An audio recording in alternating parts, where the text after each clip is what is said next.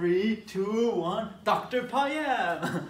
Thanks for watching and today I will cover the mean value theorem which is a theorem that will leave you rolling on the floor and laughing.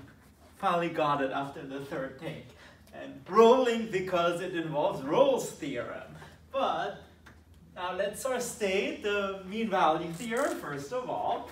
So theorem, it's a very neat theorem that relates uh, slopes of secant lines with slopes of tangent lines.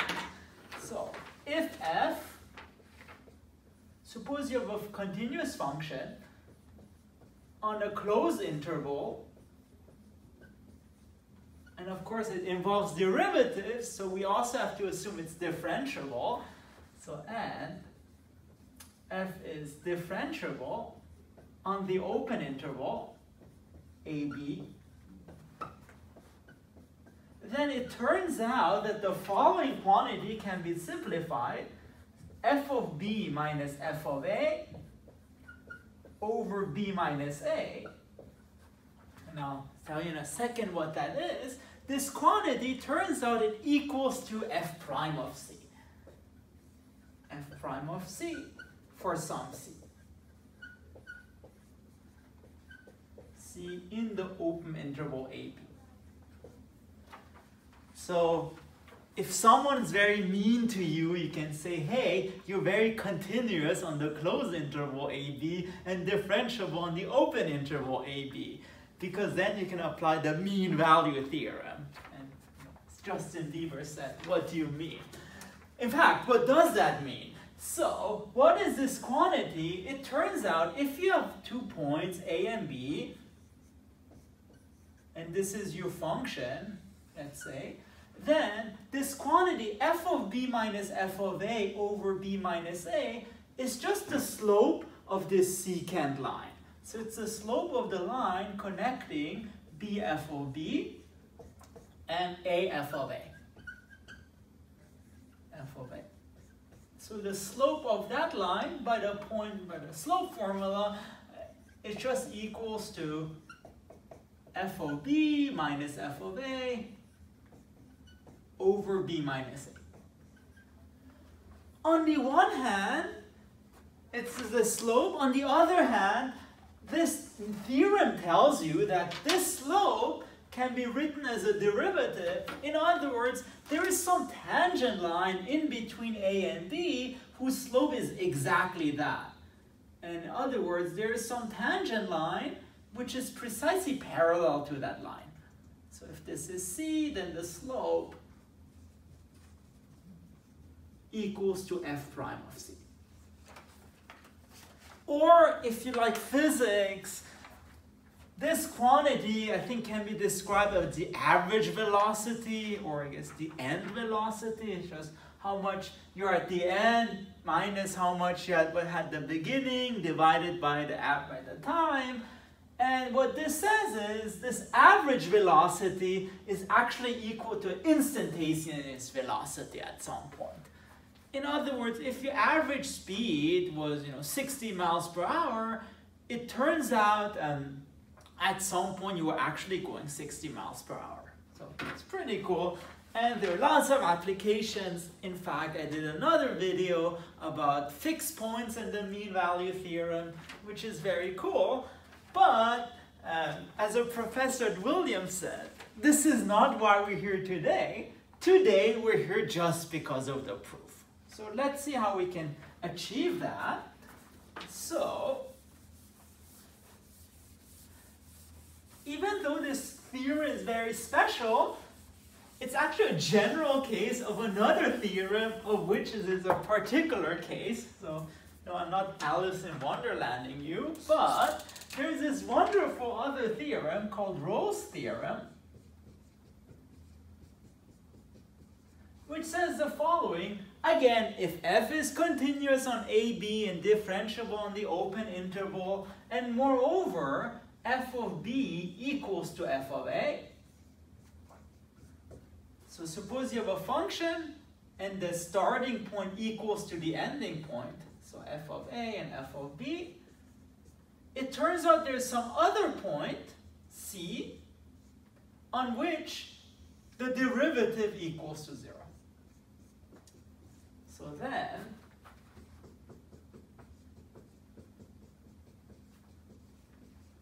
there is C in AB such that f prime of C equals to zero. And in fact, instead of using f, let me use another function g because we will use that. So if this ending value of the function equals to the starting value, then there's some point where the derivative is zero. So, so you it makes sense, you know, you know, if the starting and the ending values are the same, at some point it basically has to have a maximum or a minimum, therefore the derivative is zero. And in fact, I'll do another video on the proof of that, but here's the interesting thing. Rolle's theorem is kind of a special case of the mean value theorem. If in the mean value theorem f of b equals to f of a, you do get that. But interestingly, what we'll do, we'll actually use Rolle's theorem to prove the mean value theorem, and we'll do this by concocting a very clever function g. So, and here's the function without further ado. So again, let's take this as a given. Now let g of x be the following. f of x. So you're taking a function f and you're subtracting a very special linear function. Namely, nothing else than f of b minus f of a over b minus a x. So you're subtracting a linear function whose slope is precisely the slope of this secant line. And let's see what happens now. Well, let us now calculate g of a and g of b. So, g of a, again, by definition, in fact, I like what my advisor does. He always boxes things. So, math is a box of chocolates. Well, you always know what you're gonna get, a formula. But, so g of a becomes f of a minus f of b minus f of a over b minus a times a. So I just took this formula, plugged in a for x, and it turns out you can simplify this a little bit. So let's just expand this out. So that's f of a minus a time a over b minus a, f of b plus a over b minus a, f of a. And the nice thing is, the f of a's, they sort of come together, and you're left with f of a times 1 plus a over b minus a minus a over b minus a, f of b. And this you can simplify, so 1 plus a over b minus a Putting on the common denominator, it's b minus a plus a over b minus a, and that's b over b over minus a. b minus a, okay, so it's f of a over b over b minus a. And then minus a over b minus a, f of b. Okay, you might say, what's going on? Just um, wait for it, because now let's calculate g of b. See what's going on. So g of b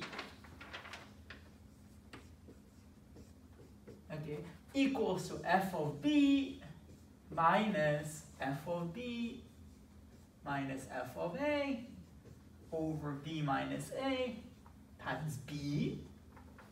Again, expand all that stuff out. So equals to f of b minus b over b minus a, f of b plus b over b minus a, f of a. And the nice thing is, we're, you know, on the one hand, for the first case, f of a is factored out, but here it turns out that the f of b is factored out quite nicely.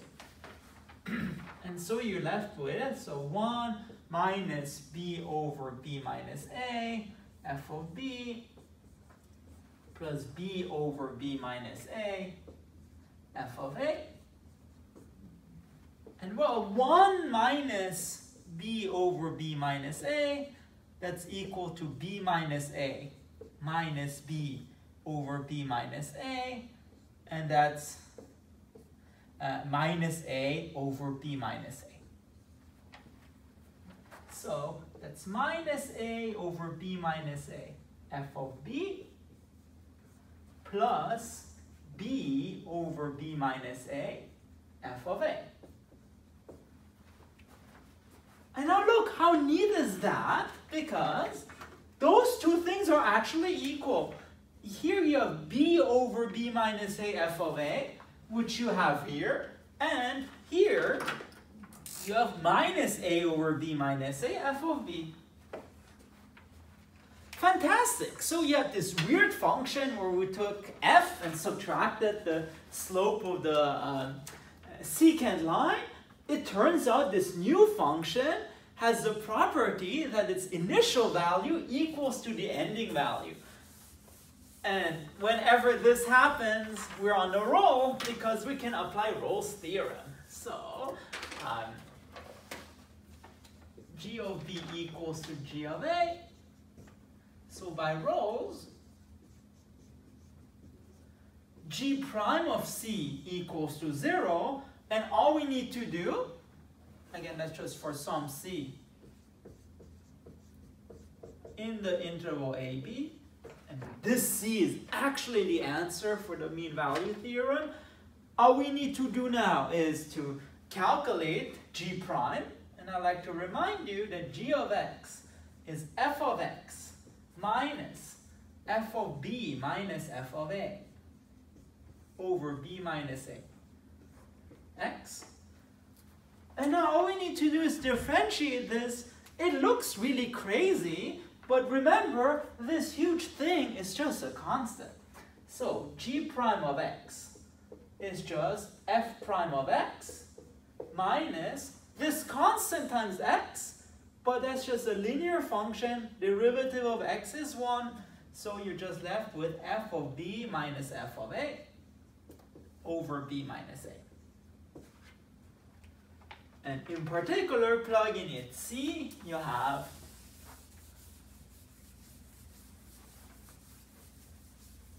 that g prime of c equals to f prime of c minus f of b minus f of a over b minus a.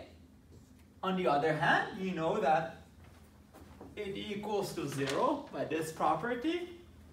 So if you put that on the right hand side, you get f of b minus f of a over b minus a equals to f prime of c,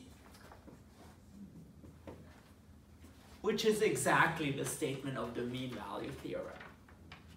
So again, just realize how cool it is. We use a special case of a theorem to actually prove a more general case, which involves a special case. So it's kind of weird, something weird going on, but this is not for you. All right, so if you like this and you want to see more theorems, and also if you want to see the proof of Rolle's theorem, please make sure to subscribe to my channel. Thank you very much. Three, two, one, Dr. Peyam! Hooray! Thanks for watching, and today I will cover the mean value theorem, which is a theorem that will literally make you roll on the floor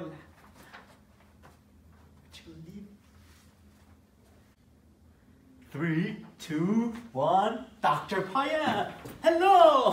I almost slipped there, but today I will cover a proof of the mean value theorem, which is a theorem that will leave you on the roll. Wait, oh no.